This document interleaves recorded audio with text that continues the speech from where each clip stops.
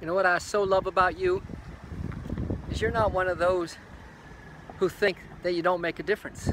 That's what I so love about you.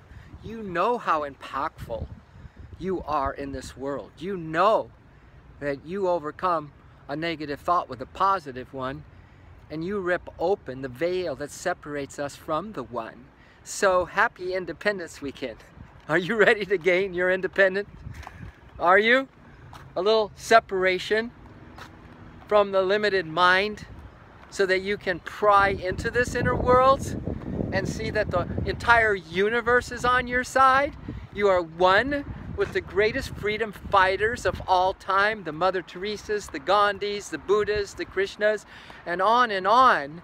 And they're pulling for you, baby.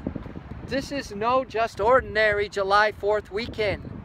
I'm, I'm asking all of you if you'd step up for the fight if you would join the freedom fighters, if you would join that degree of separation that you need to detach from your own attachments, right?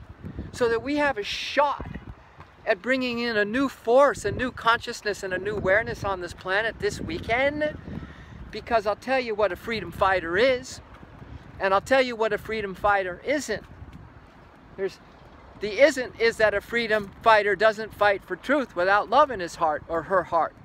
Love in the heart is the secret ingredient of the freedom fighter that I'm talking about. And I'll tell you what kind of lover it is. It is a very tough, fierce lover. Meaning that it is decided that the only love that is worthwhile is the pure love, the pure heart love. And that requires a pure mind to be surrendered into this pure heart.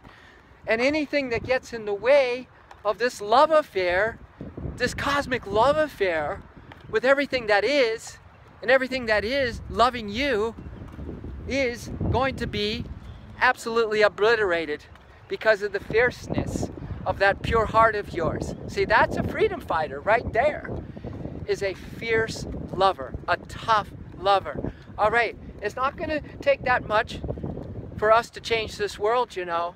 It's going to take a steady, consistent, unconditionally loyal effort on each of our parts to make sure that we're here to fight for freedom in this incarnation, right?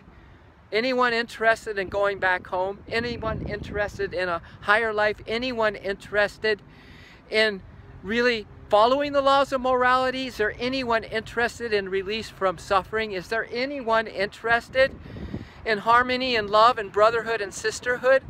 Is anyone interested in being happy? Is anyone interested in being in love all the time with the beloved, the one beloved?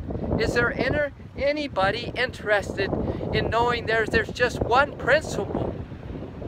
There's no other options. There's just one principle and that principle is truth. All right, so this weekend to me is unbelievable. I'm just asking you to join the fight. I know you have already. I know that you know you make a difference, and that is what I love about you.